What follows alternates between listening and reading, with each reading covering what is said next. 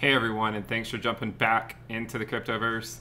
Today we're going to be talking about Bitcoin and cryptocurrency and the beauty of mathematics behind it. So if you guys like the content, please go ahead and subscribe to the channel, give the video a thumbs up, and also check out the Telegram channel in the description below. So what we're going to talk about is the logarithmic regression of Bitcoin and the rest of the cryptocurrency market cap, and we're going to be looking at the mathematics that's kind of hidden there, and I've talked about it some on the channel before, but I want to unwrap this for you guys even further. Now, you can find you can find mathematics in in nature all the time. I mean, you just look around you. There's there's math everywhere. It's just it seems to be part of nature. If you look around, you know, you'll find Fibonacci spirals in pine cones and plants.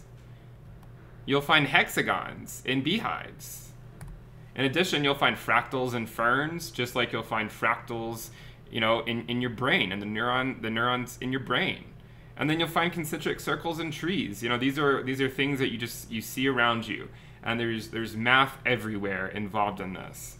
You know, I started off in my career really being fascinated by space, and I still am. And there's even fractals there. I mean, there's a there's a Fibonacci spiral that makes up our, our Milky Way galaxy. Um, you know, planets, they don't orbit in exactly concentric circles. Obviously, the orbits are elliptical, elliptical. But these things are these things are just fascinating that, that math tends to show up in, in places where you would least expect them. So in the cryptocurrency regression line, this is our uh, you know, this is our fair valuation fit to the cryptocurrency market cap. And I've updated it to be July 2nd, so it's updated through today the current market cap of all cryptocurrencies is around 261 billion. Our fair value trend line says that our fair value is at 442 billion. According to this, we're undervalued right now by 41%. Okay? Is this is this, you know, is this something that's new? No, it's not. We've been in this situation before. We were in it during the first cycle. We were in it during the second cycle, you know, years of undervaluation and now we're you know we're in it in our third cycle. Now, if you draw a line from the peak to the fair valuation line, so just draw that line from the peak to the fair valuation. You draw it for the first cycle, and the second, and a projected one for the third. You can see the time to get to our fair valuation is getting longer, and this is where you know this is the the the you know this is where a lot of the, the lengthening cycle theory comes into play. Now, if you draw from peak to peak and peak to peak and peak to peak again, you get the idea. You can see that we are seeing diminishing returns over time. I've made them, you know, solid lines so that you could you could more easily distinguish between them. Now, what we're going to do is we're going to extend these. Um, but before I do, if you if you take a look at where the where the price the prior all-time high meets the fair valuation line, you can see that every single time the price has been under it. Okay, so here the price was under it and we did not pass the fair valuation until about three months later or so. During the second cycle, we kind of came up to it, but ultimately the can was kicked down the road and it took another, you know, after after getting from the from the prior all-time high to get to the fair valuation to then when we finally passed it, you know, took maybe, you know, more than half a year or so. And then again, where we currently are, if you take a line out from the last from the last market cycle peak and draw it all the way out to our fair evaluation, you can see that we would get there sometime in the middle of 2021. So if you extend these out to just say, well, this is where we actually cross the price. I'm just I'm extending these yellow lines out to show where we where the price crossed our previous all-time high you can see a nice pattern emerging. You know, the cycles are getting longer. We don't exactly know the relationship yet, um, mainly because we've only we only really have two previous cycles to look at. But we can see that a relationship is forming, and after this next cycle, we'll have a better idea of what that relationship is. If we were to continue on in this pattern, I've, I've loosely drawn out you know what might happen the price maybe or the, the total cryptocurrency market cap could potentially cross, uh, you know, this prior all-time high um, of one trillion or around one trillion, you know, thereabouts. I would say sometime first quarter of 2022 to maybe the, the last quarter of 2022. So sometime in that time frame of 2022 is when I when I could see us potentially crossing through it, and if not by 2022, then I think by 2023 for sure. And this is again why you know looking at a at a cycle peak in 2021 really doesn't make a whole lot of sense because it does not the data does not suggest that at all. Um, and even if you look at market cycle bottoms, that's the case. So if you draw out some type of projection, which we're going to get into the math a little bit more in a minute, uh, you know, this is more or less what I would expect. And obviously, we could come back up into a more speculative bubble in the short term and come back down, just like we did in 2019. We could also come back down to our, our lower, kind of our bottom of our fair value or our undervaluation and test that for a while. We don't know. But ultimately speaking, you know, this is our is our long accumulation phase, 2019, 2020, and part of 2021. Now, before we continue and, and, and talk more about about the math in a minute, I wanna I wanna give a shout out. So if you I don't know if you guys follow um, uh, Steve from Crypto Crew University, but he gave me a shout out the other day. He said you know he was listing uh, three crypto YouTubers that he wanted to kind of give a shout out to that uh, that he enjoys watching, um, and I really appreciated that and so that you guys know a little bit of history of this channel, one of the reasons I started this channel, I would say actually one of the main reasons I started this channel was because I used to watch Steve back when I was in graduate school. And, you know, that kind of seeing kind of how he, you know, made him, you know, he built everything from the ground up. He was, you know, he, the success came, you know, from nothing and he, and he built it up. This encouraged me to start my own channel. So I actually haven't told anyone that yet. Uh, the only person I have told is, is Steve. I, I sent him an email uh, just to kind of thank him and let him know that, you know, this was, um, it really was, uh, he really was influential in me starting my channel because I, you know, I saw what I could, I could make it into. And also, you know, looking at, at how, how you can, you know, grow a channel um, in, in, in the right way. Uh, and one of the things he, he, he talked about is, is, is mentioning three people that are you know really that you find influential that that have you know positively impacted you. You like their you like their youtube channel. So i'm going to do that. I'm going to i'm going to continue this, the spread of the positivity that he started. Um, and so the first person obviously you know i'm not going to i'm not going to take a the cheap way out and, and mention him um, but obviously he would be there uh, I would say another guy uh, is are the it's, actually two people. It's it's the brothers uh, who run the Altcoin Daily channel you know, they they gave me a shout out, uh, you know, a, a, few months ago, and um, in that video, I mean, it really helped grow my channel because you know they just they decided to to, to let other people know what I was doing, so that meant a lot. Um, so definitely, you know, definitely check out um, Steve at Crypto Crew University. Check out um, uh, Altcoin Daily. Uh, I'll link all these in the description below, by the way. And then another guy uh, that was, you know, he probably he probably isn't as, as aware of how how um, helpful he was, but uh, Crypto Crow, he he reached out to me when I had maybe I don't know like one or two thousand subscribers. I, I, really didn't have many subscribers, um, and he and I think he could tell that like I was probably going to have a lot of the same issues that he probably had when he first started his channel. So he just kind of you know he invited me into you know onto a Telegram chat and we just kind of discussed uh, what was going on, and, and, he gave me a lot of helpful pointers. So I would say, you know, I would say definitely um, uh, Steve from Crypto Crew University, Altcoin Daily, they really do a good job, I think, of covering the news, which I really don't do. Um, Crypto Crow, you know, he really did help me out. And I think a lot of people think that we're kind of all against each other and we're all out to get each other, but that's really not the case. I mean, we all want, you know, we all want each other to succeed. Um, and then the last person, actually, it's not actually a, a crypto channel. Uh, and the reason I'm going to mention this guy is because I, I am going to kind of use Steve as my as my third mention. Uh, but the fourth mention is is a guy who um, you know he really started following me early on, and he's he's been really helpful in terms of in terms of growing growing my channel and, and just thinking about uh, brainstorming different ideas. Um, his name's Alex. He he just started a YouTube channel uh, maybe like two or three days ago. I think I think he has four subscribers.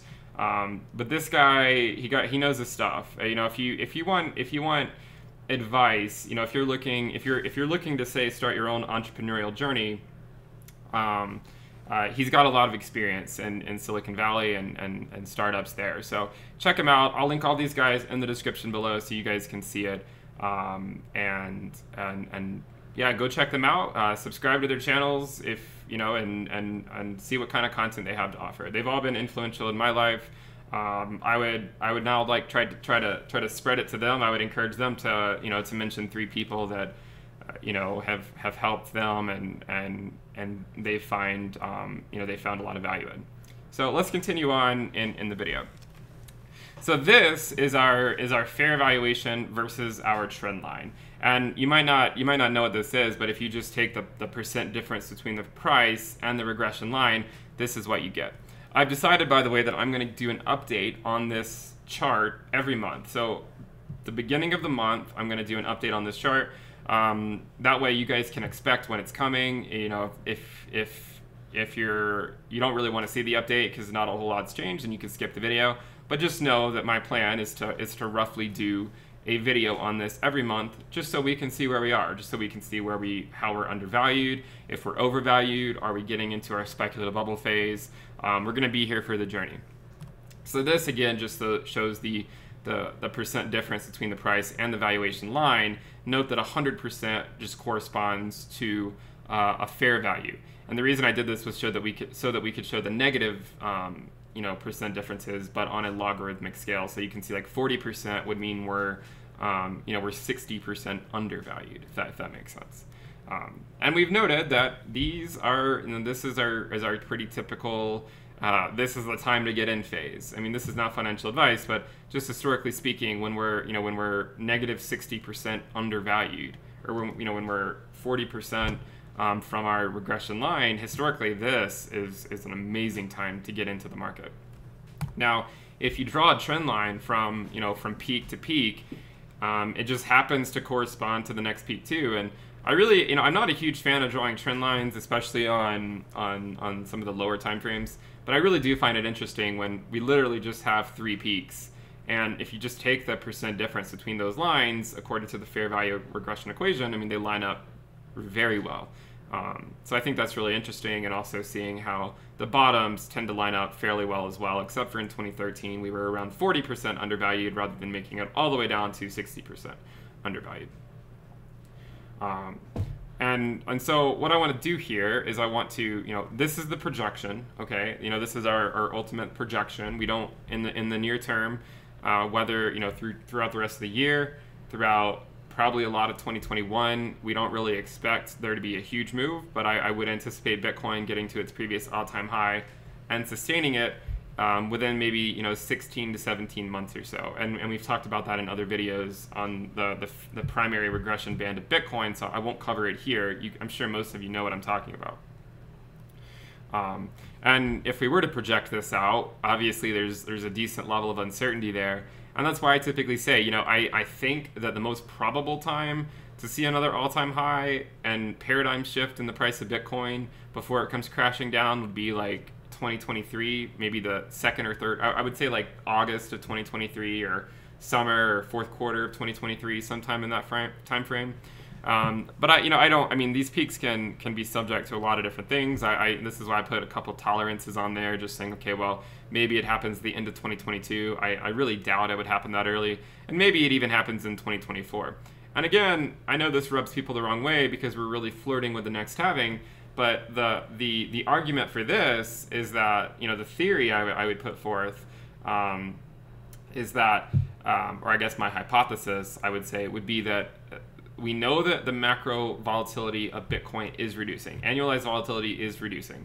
Uh, we know the market's becoming more efficient. If you look at the autocorrelation, so the price of Bitcoin compared to a lagging version of itself, it's becoming less and less like autocorrelated, which means the market is becoming more efficient. Um, we know that the market's becoming more efficient. We know that volatility is reducing. We expect lengthening cycles. We expect diminishing returns. That doesn't mean you can't still make a ton of money. It just means that you need to manage your expectations so that when the when the peak does come, you're not stuck thinking that Bitcoin's going to go up another 5x when really the data suggested all along that it wasn't. Um, and so if we continue this, if we if we look over again at this chart, you know, and we and we overlay it, you, you get an idea of, of how these things are going to overlap. So, you know, we, we kind of stay undervalued for a while. Again, you know, it's possible we see a, a, smaller speculative bubble in the short term. Never discount that. I mean, there's always a chance we go to 20K this year and then come straight back down to 10K. Um, and these, when these things happen, I mean, you can take advantage of these moves. Uh, these, these are really important, I think, to, to take advantage of if you can. Um, and if you if you just kind of draw the you know the frequencies here, or the it, it, looks like a frequency. I mean, I'm just drawing from bottom to top.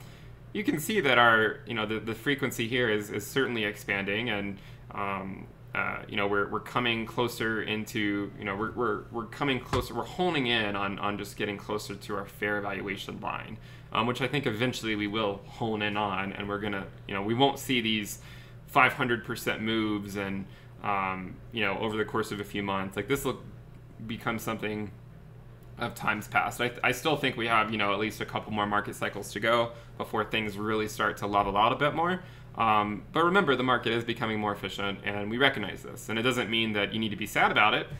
Knowledge is, is, is really useful in, in markets. It just means that you use that knowledge to your advantage. Now, I think this is really interesting um, because if you, if you go back and look at the regression line, I've loosely drawn it to be around 10 trillion. Um, and, I've, and I've often said, you know, I, it could be 8 trillion, it could be 12 trillion. What's a couple trillion among friends? I mean, it's not a huge, it's not going to be a huge difference at the end of the day. Um, of course, granted, another 2 trillion in market cap can make another, you know, 20,000 people millionaires or something. But at the end of the day, what's a few trillion among friends? This is our, in our general uh, thinking here is that we don't exactly know where it's going to occur, but we expect it to be somewhere in this region.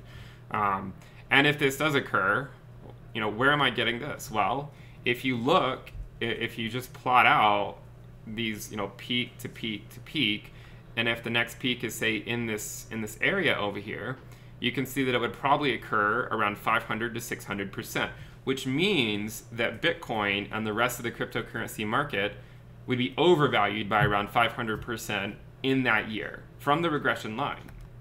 So that means if the fair valuation of the entire cryptocurrency market cap, if you draw it out to say 2023, you can see the fair valuation, note this is a logarithmic scale, would be somewhere between 1 and 2 trillion. Okay? So where does a 500% overvaluation put us? Well, it puts us right around 10 trillion. And I think, you know, the beauty the, the beauty of, of seeing the mathematics just kind of line up like this uh, so methodically and, and to say, you know what, we recognize that we all wanted Bitcoin to go to, to 100K in 2021, but it's, it's, it's not going to happen. Um, I'm bringing this message to you so that you can use it uh, to inform your own decisions. I, I obviously there's a small chance, but I, I highly doubt something like that would happen. And at the end of the day, when you're when you're comparing say this regression line here or this uh, you know the, this trend line here and noting that the next peak would correspond to around a 500% overvaluation okay and then look at your regression line the fair value regression line and see that in 2023 a 500% fair value overvaluation from that primary regression line would put us right back over that dashed green line even though we know that macro level volatility is decreasing. So we know that we're going to get closer and closer to the green line every market cycle. So this one will probably only slightly go above it. Um, and I think that's, you know, you can, you can project this out, project that out by noting that we'll probably, you know, we're pro there's a good chance we're going to be capped at around a four to 500% overvaluation in the year, maybe 2023 or 2024. And I think, you know, I think there's some beauty in the mathematics behind that. Thank you guys for tuning in. Check out the Telegram channel if you if you want to discuss the charts. We also have the premium list here at intothecryptoverse.com if you want access to exclusive content. Um, uh, but that'll wrap it up for this video. Go ahead and subscribe to the channel, and I'll see you guys next time. Bye.